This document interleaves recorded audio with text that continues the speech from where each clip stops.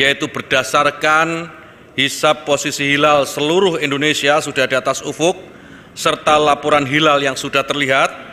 Secara mufakat tadi sidang isbat menetapkan bahwa satu Sawal 1443 Hijriah jatuh pada hari Senin tanggal 2 Mei 2022 Masehi. Inilah hasil sidang isbat yang baru saja kita laksanakan dan kita sepakati bersama dan tentu kita berharap mudah-mudahan dengan hasil sidang isbat ini, seluruh umat Islam di Indonesia dapat merasakan Idul Fitri secara bersama-sama.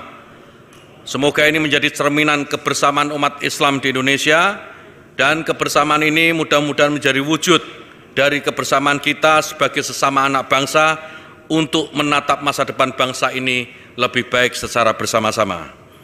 Inilah laporan dari sidang isbat.